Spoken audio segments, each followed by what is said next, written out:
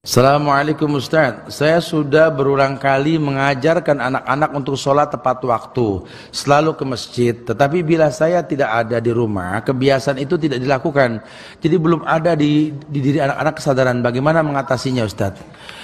Ya sabar. Namanya juga anak-anak Betul?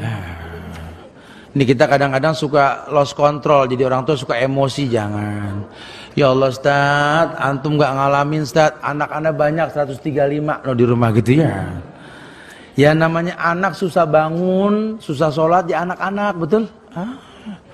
Kita omelin tiap pagi Ustaz kalau masalah bangun pagi, jangan ya Allah, jangan. Kita bikin paginya anak itu sudah buruk, bad mood. Akhirnya anak berangkat sekolah cemberut, ilmu apa yang bakal dia dapat? Ya, jangan jangan jangan bikin anak kesel dengan dimaki-maki setiap pagi jangan. Kan susah bangun Ustaz, ya namanya anak. Kalau yang gampang bangun Ustaz, tat tat tat gitu bang.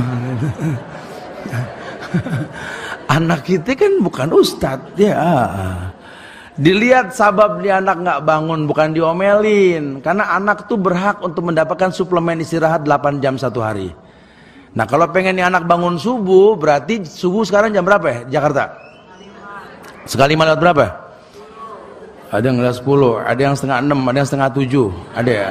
822 ada. ada yang bareng duha jangan-jangan ya. Macam-macam nih kampung Melayu ya. ya udahlah setengah lima lah lewat lewat 10 lewat 3 2 11 kurang lebih lah segitu ya. Iya iya iya. Ah, berarti tarik ulur sedikit ke bawah. Berarti setengah sembilan tidur, 8 jam, bangun jam setengah lima insya Allah. Nah kalau anak ini tidurnya sudah malam gimana mau bangun? Nggak bakal bisa. Jadi yang dikoreksi tidurnya mungkin kita nih orang tua nih kesalahan orang tua jangan anak disalahin mulu. Karena si Atontowi mengatakan bahwa kadang yang durhaka orang tua. Ya yeah, orang tua yang durhaka. Kenapa? Karena orang tuanya ini nggak ngerti cara bagaimana bikin anak ini tidur malam. Sunnah menggelapkan lampu. Atau membuat remang malam hari itu sunnah kita malah berpendapat, habis kalau gelap ada setan. Tuh. Nggak tahu siapa duluan yang bilang begitu. Lawang Nabi nyuruh gelap, dia bilang makanya anda pakai neon, tak jadi nggak serem. Oh masya Allah. Tuh itu begitu tuh. Sama orang yang menganggap katanya kalau nyium bau wangi ada setan, tuh sama. Nggak ngaji tawan tuh orang gitu ya.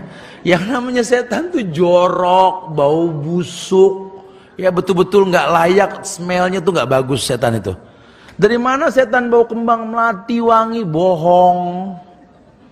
Makanya kalau orang nyium bau wangi terus kabur, yang setan siapa? Kabur. Ah. Dia setan sebenarnya.